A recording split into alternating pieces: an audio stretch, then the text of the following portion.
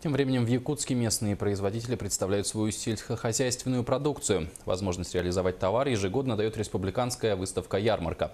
Она началась сегодня. Традиционно предприятия разместились на Комсомольской площади столицы республики, рассказывает Юрий Осипов.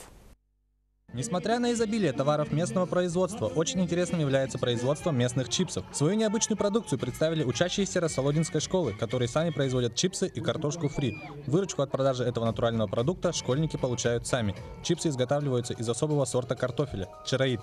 Как никогда э, план перевыполнили по молоку, по сену, заготовку сена. И в дальнейшем у нас, конечно, развитие поэтапное будет при поддержке нашего правительства, Министерства сельского хозяйства. Ярмарка привлекает горожан возможностью найти все необходимое в одном месте и по доступным ценам. В этом году она продлится три дня, а не два, как обычно. Ежегодно, конечно, мы ждем эту ярмарку, потому что каждый год приезжает э, э, Сулусов, Сулусов привозит свою продукцию местную.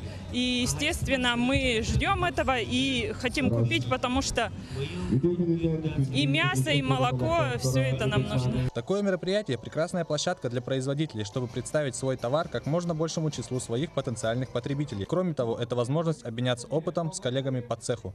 По предварительным данным, по сбору э, урожая картофеля, по сбору овощей, по, сбору, по производству зерновых культур, кормовых культур, э, у нас все показатели будут ростом по отношению к 2015 году. А, значит, э, несмотря на сложные природно-климатические условия, значит, селяне смогли заготовить в целом по республике грубые корма, сена для обеспечения устойчивой зимовки своих, своего скота и лошадей. На ярмарке широко представлена мясная, молочная продукция, а также самостоятельно выращенные овощи. Представили также и животных. Посетители ярмарки могли увидеть домашнюю птицу, коров, оленей, поросят, кроликов и множество других животных.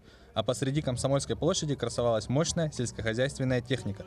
К примеру, убойный комплекс контейнерного типа для заготовки мяса. В этом мобильном цехе проходит вся процедура разделки, начиная от оглушения и заканчивая собственной разделкой. Подобный цех уже запущен в Нижнеколымском Улусе. Туда был поставлен комплекс из пяти контейнеров, которые соединяются в единое целое. Работа ярмарки не заканчивается сегодняшним днем. Те, кто не успел сегодня купить товары местных производителей, могут прийти в выходные и присоединиться к счастливым покупателям. Юрий Осипов, Владимир Павлов, НВК «Саха», Якутск.